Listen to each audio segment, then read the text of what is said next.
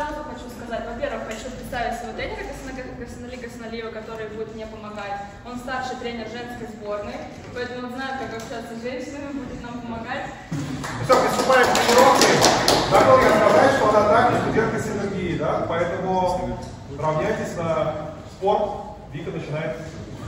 Потом, когда вы поймете специфику движения, можно добавить грудь. Грудь или живот. Девочек, живот. На пятках не стой, на пятках не стой. Ну, у нас как, играем, игровой момент. Это далеки именно от ММА. Что будем делать сейчас? Самое простое, что я больше всего люблю. Это, допустим, мы заходим в корпус, держим его крепко под ребрами. И просто немножко можно его э, вывести из равновесия. И потом я просто подсекаю вот эту ногу и тяну на себя. Просто тяну на себя. Посмотрите, как это будет получаться. Я беру. Тяну, тяну на себя, и в этот момент тоже вот так держу, пытаюсь его чуть-чуть вниз опустить. То есть вот так. Вот такое движение. И это как бы, считай, уже тейкдаун. Очень рабочий. Три на фланге. Вика, а может быть связано с тем, что вот от плавания вот этот эффект, что у тебя отстают ноги и корпус? Ну да, скорее всего, так и есть. Но я стараюсь это, нивелировать это преимущество рук. А какие вообще дальнейшие планы, если не секрет какой-то? Соревнования, участие, также развитие? Вообще глобальный план это, конечно, стать чемпионом UFC. А, Если все будет хорошо, сейчас мы уже потихоньку начинаем подготовку на март. Будет бой 2 марта. По крайней мере, это в планах. А, И впоследствии, конечно, я планирую выступать как можно чаще и как можно быстрее добраться до титула.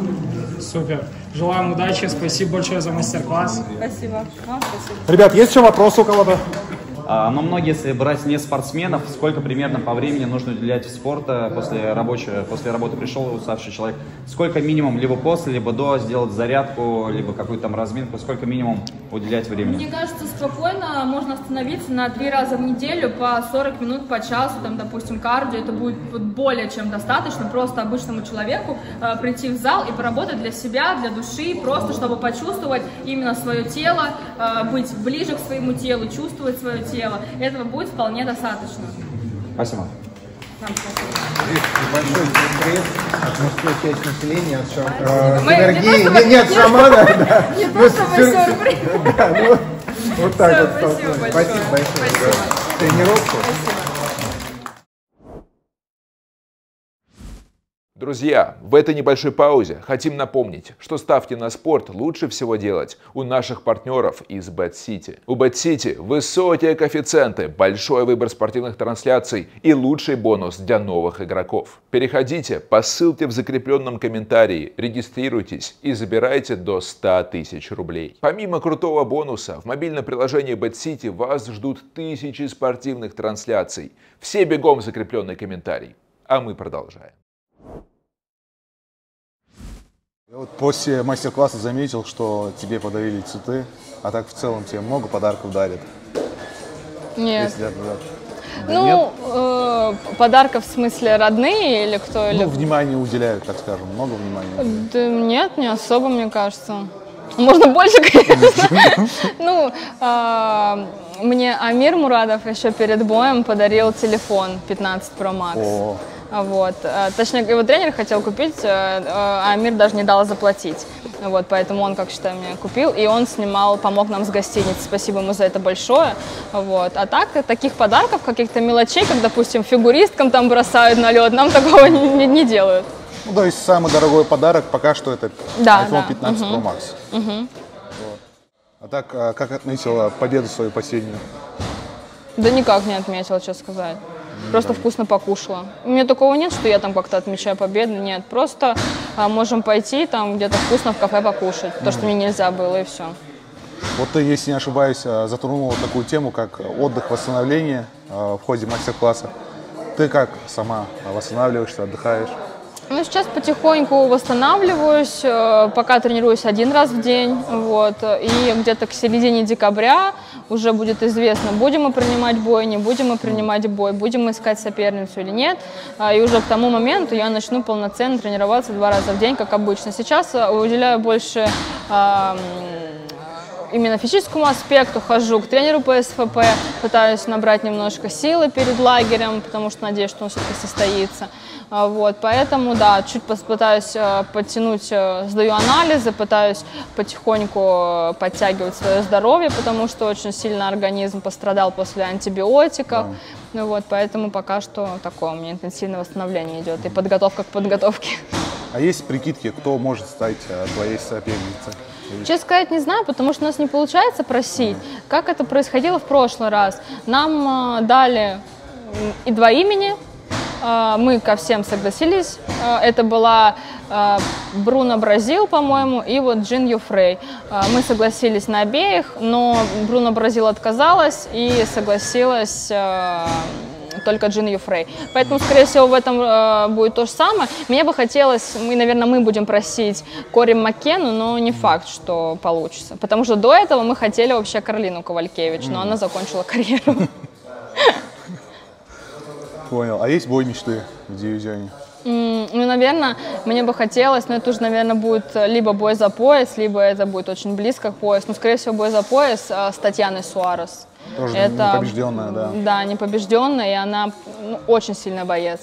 Это будет вот настолько проверка меня и ментально, и вообще. Поэтому, конечно, впоследствии, а, когда я поднимусь, мне бы хотелось с ней подраться. А каково тебе было спарринговать с ней? Если не ошибаюсь, вы проводили, да, спарринги? Да, с ней тяжело было, не спорю, не скрываю. Но я тогда была, конечно, не в таких кондициях, как сейчас, даже потому что мне пришлось набирать форму уже в Лас-Вегасе к первому бою. Вот. а, Не то чтобы я была растренирована, но я была на акклиматизации. Ну, нормально прошли спарринги, я, я спарринговала с ней и с Кейси Анил. Вот. Но у меня было в этих спаррингах много ошибок. И мне кажется, в этом плане хорошо, что они были и что мы их увидели. Вот, потому что мы их уже нивелировали. Вот. И а, как бы да, легко не было. Ну, хорошо борется. Да, борется, конечно, она э, бронзовый призер по, ну, по ой, бронзовый призер чемпионата мира, она по борьбе. А ты уже представляешь в голове, как бы ты, какой бы бой Да. проводила с ней? Да, я у нас уже даже план на бой, мне кажется, Есть? ну у меня в голове сто процентов есть, не знаю, как остальные, у меня сто процентов есть план на бой. Ну, скорее всего, стойки бы проводили. Ну, больше стойки, да, конечно, будет больше стойки. Всё, понял.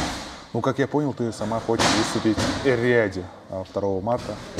Да, потому что это удобная дата. Мы рассматриваем э, дату перед э, постом, потому что Гаснали будет держать, и он не сможет никуда поехать, соответственно, он не сможет нормально тренировать меня, то есть утром, вечером, это будет нереально. Вот, поэтому мы, рассматриваем э, перед постом. Желательно матч, чтобы была полная подготовка, чтобы мы сейчас никуда не гнали, никуда не спешили, чтобы мы спокойно сейчас восстановились и начали лагерь. Вот. И, конечно, э, было две даты. Либо 2 марта, либо 9 марта. 9 марта – это номерной турнир, и туда тяжело попасть из-за того, что нужно уже сейчас бронировать места. Потому что там уже э, люди, которые есть уже бои, которые уже назначены. В Эр-Рияде пока нет. А, И, соответственно, нужно уже сейчас думать, сейчас уже определяться, а мы пока к этому не готовы, поэтому... И плюс не очень хочется ехать далеко, это, скорее всего, уже будет в Америке, ну, мне кажется, в Лас-Вегасе, хотя пока нет точного места, вот, но а, это все равно и достаточно затратно ехать в Лас-Вегас, а, и плюс после того, когда это уже третий бой подряд, э, тяжело опять уезжать, ну, типа, надолго и так далеко от дома, поэтому, конечно, хотелось бы провести лагерь в Кисловодске, вот, и потом уже впоследствии на акклиматизацию поехать в Эр-Рияд уже так, вот, поэтому по- рассматриваем пока что только Эр-Рияд. Э, Виктория, тебе самой э, легче спарринговать с мужчинами или как раз с девушками? Потому что, с одной стороны, мужчины, их э, в большом количестве, и они более опытны, чем С мужчинами проще морально, потому что ментально, потому что ты знаешь, ты в голове, хотя я очень расстраиваюсь, если у меня не получается что-то сделать, хотя у нас в зале сейчас все мальчики больше меня весом, там самый маленький 65, мне приходится с ними спарринговаться, понятное дело, что они сильнее меня, но хотя я даже так расстраиваюсь, если у меня что-то не получается.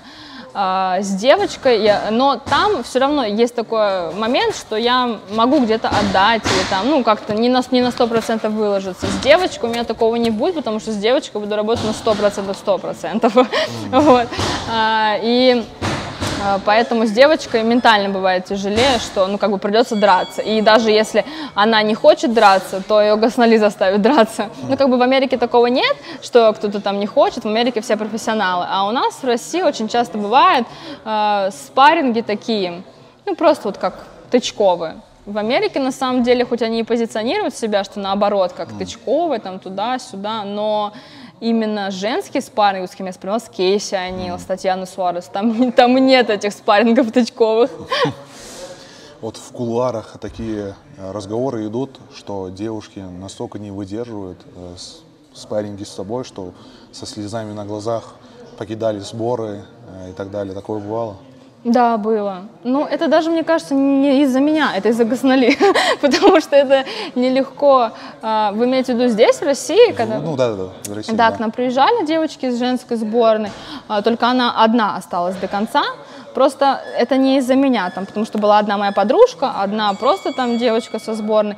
А, Тренировки тяжелые у Гасанали, и это очень тяжело выдерживать, когда тебе, по сути, это не надо, вот, а тебе приходится тренироваться, хотя у них тогда, по-моему, должен был быть э, чемпионат мира, и тогда еще не знали, что его отменят. А, Ну, это было когда там, в 2021 2022 году.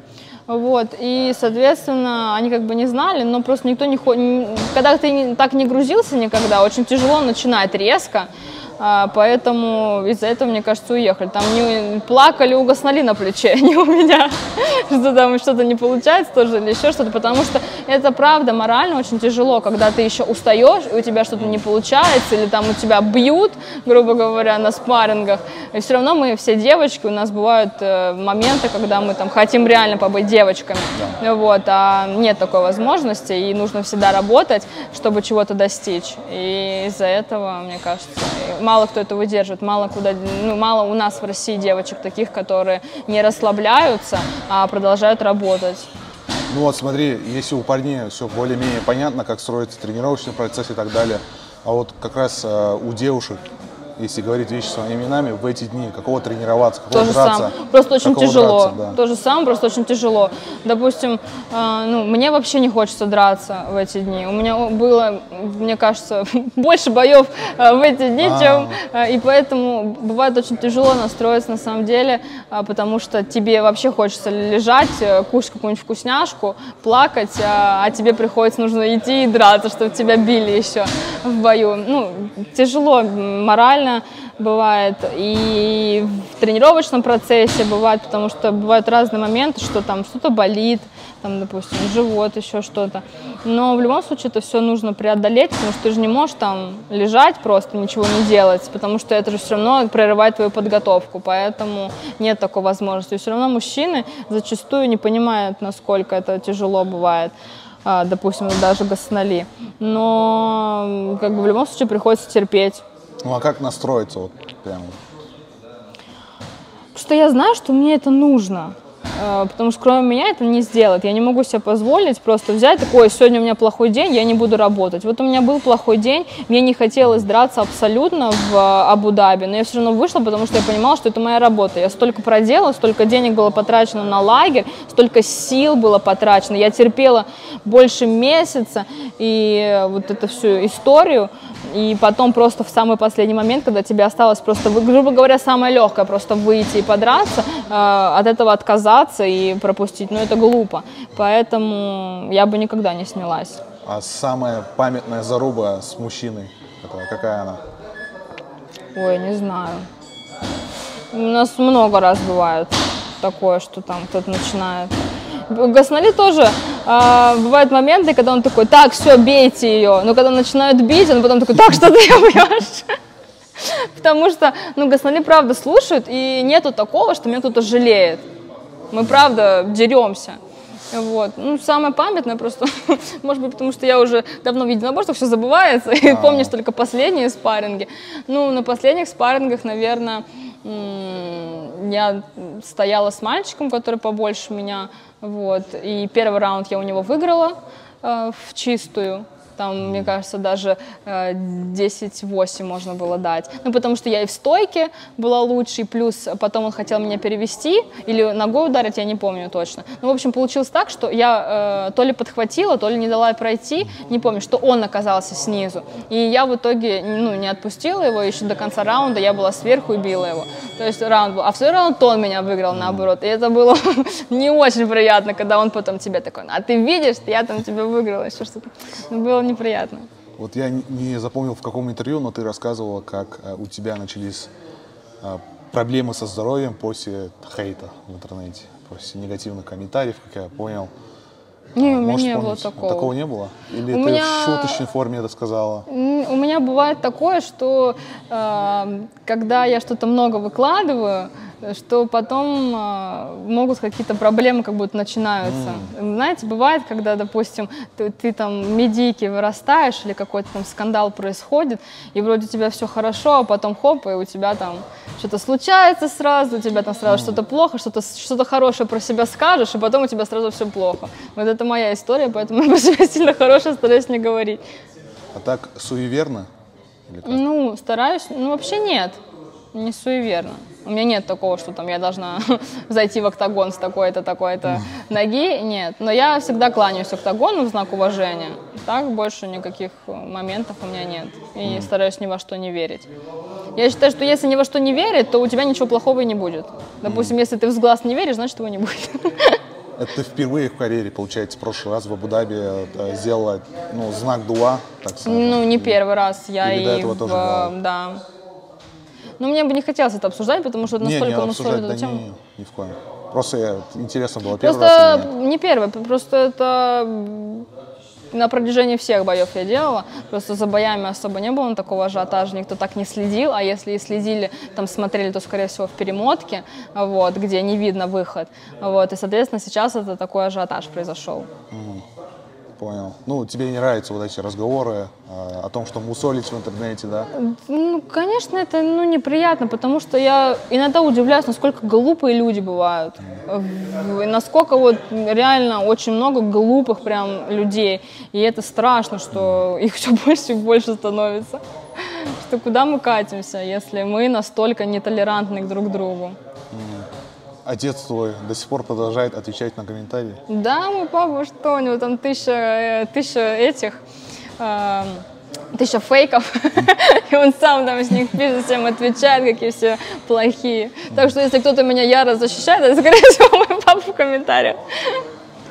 Понял. Ну, слушай, а если подви- последний вопрос уже всё. Если подвести итог, как бы, да, ты наверняка уже и представила бой против чемпионки. Вот как бы ты побеждал Вейли Джанг? Потому что она очень сильная. Да, и я физически согласна. си- сильная, да.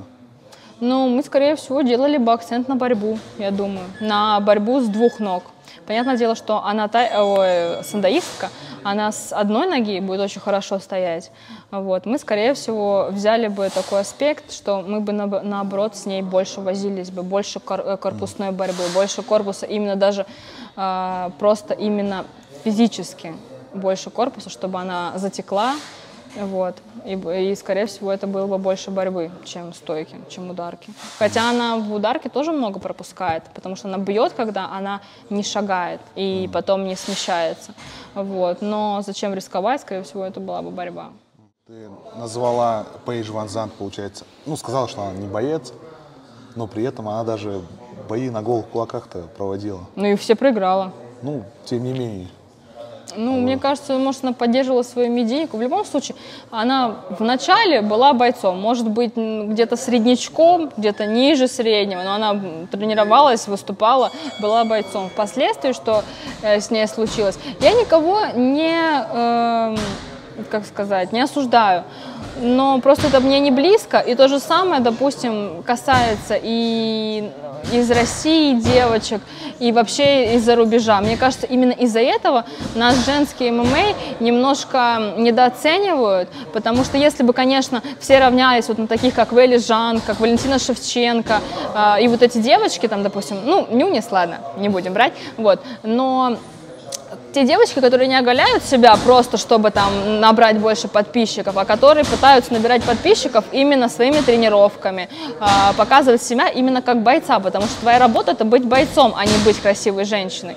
Вот, поэтому э, из-за этого, мне кажется, нас особо не воспринимают, потому что считают, ой, да типа, если это девочка в единоборствах, значит, она там пойдет на OnlyFans, значит, она там э, будет себя там оголять, она будет там туда-сюда, поэтому у нас, нас так недооценивают. Ты наверняка успела зависеть тут Диего Брандау. Угу. Вот она вчера бой проводила против персов. Смотрела? Я видела нарезку только, где перса уронили почти два раза. Только такое. Но не знаю, я из нарезки не было видно, что это э, бой, который разделом должен э, решиться. А, то есть это уверенная победа Брандау. Ты вот Ну, в я, я, честно сказать, нарезку видела, поэтому я не могу, ой, извиняюсь, не могу э, судить, потому что вдруг там перс все остальное время доминировал, вот. Но, как мне кажется, это, ну, правда должна быть победа Брандау.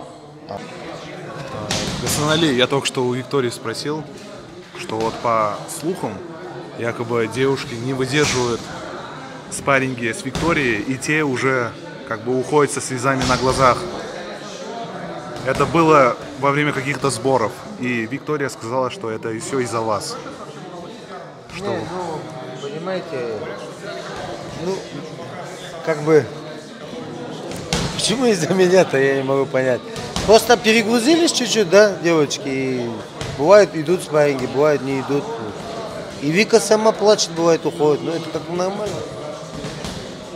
Сборы, вот, тренировочный процесс, он не может быть идеальным. Ты не можешь быть там все время отдохнувший, свежий, там на спаррингах, и там все красиво, у тебя все хорошо.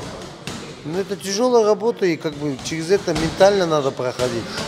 Не бывает, что думаете, она там всегда веселая на тренировке. Она тоже бывает, там поплачет, посидит, соберется и дальше вперед. Это, ну, как бы, так должно быть. Что тренеру нужно знать при работе с девушками? Вы как главный тренер сборной России Надо, среди женщин. больше всего надо с ними разговаривать. Что я, наверное, не люблю, но приходится.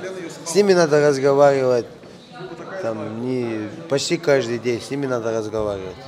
Ними надо разговаривать, объяснять, что там, послушать их, они там где-то свое мнение скажут. Ну, много нельзя говорить, надо точно бить. Много раз точно. Нельзя женщине много всего говорить, потому что она из этого много всего возьмет, сколько ей надо, вот, там, вот определенный момент даже. Это элементарно, это и в семейной жизни, вот любой мужчина меня поймет. Ты там что-то говоришь, она берет там именно то, что ей нужно. Не то, что ты ей хочешь донести, а то, что ей нужно. Из этого надо говорить точно. Определенно мало. Если у нее, конечно, настроение не то, я думаю, она и, и так тоже не услышит. Что бы ты ни говорил, меня, наверное, все мужчины поймут. Нам нужно по- просто поймать момент и вовремя, и где-то ее оставить там. Пусть чуть-чуть поплачет, себя придет. Потом нормально. Гасан Али, вот э, я запомнил, как вы рассказывали, что в свое время, например, э, Хабиба того же вкладывали братья Магомедовы. В Петра Яна, русская медная компания. Кто вкладывает Викторию сейчас? Или кто Пока- должен, или кто должен начать вкладывать Викторию? Конечно. Я хочу сказать такую вещь, свита делает короля. Должно быть окружение правильное, чтобы человек стал великим в этом спорте. И всегда я смотрю не на бойца, а на его окружение. Кто его окружает. Пока мы с Викой дошли вдвоем. Но, конечно, я занимаюсь этим, я все понимаю, что мне нужны люди. Мы ищем этих и коллег, тренерский цех, и спонсоров, и все. Мы работаем в этом направлении, потому что ей 24 года, у нее 8-0, 6-0 любителя. Ну а как искать их? Ну, это вот, допустим, сейчас я нашел спонсоров там, да, группа компаний ЮГМК, это Ростинвестбанк, это страховая компания Байда, это благотворительный фонд Александр Невский, у нее зарплата хорошая, уже определенная нагрузка с нас спала, да, там. У нас есть там бюджет там ежемесячный, есть там бонусы прочее. как бы, ну, все поймают меня, да, спортсмены, все поймут, они уже нам помогают, да. Мы будем дальше двигаться. Должны быть крупные корпорации, большие, я думаю, наша компания также, она большая. И посмотрим, да, все же потихоньку идет. Хабиба же не сразу стали вкладывать. Хабиба стали вкладывать тогда, После когда он, даже да, когда он уже просвет появился с чемпионским поясом. Понимаешь? Когда у нее тоже она окажется топ-15, топ-10, это тоже появится просвет.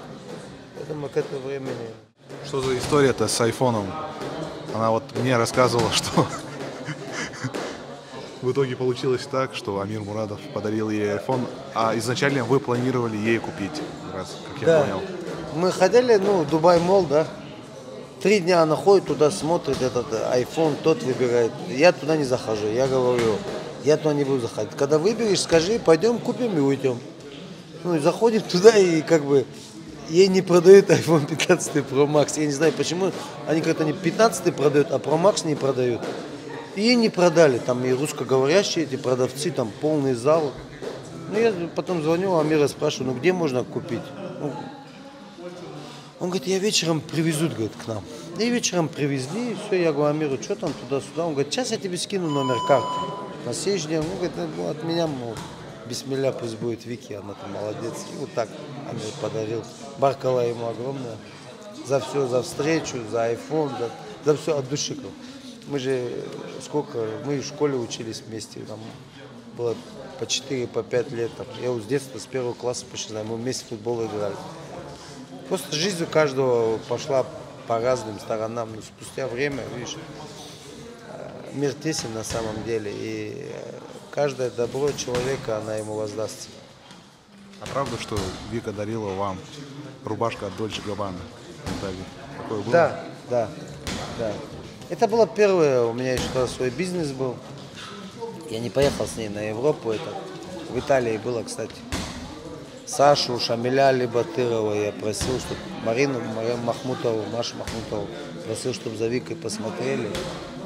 На Европу, в Рим, ну, ты же девочкам же никто не оплачивал, 250 тысяч в 2019 году я отдал, отправил ее. У меня был свой бизнес, я как бы, я тренировал их, но у меня был как бы уклон был на бизнес.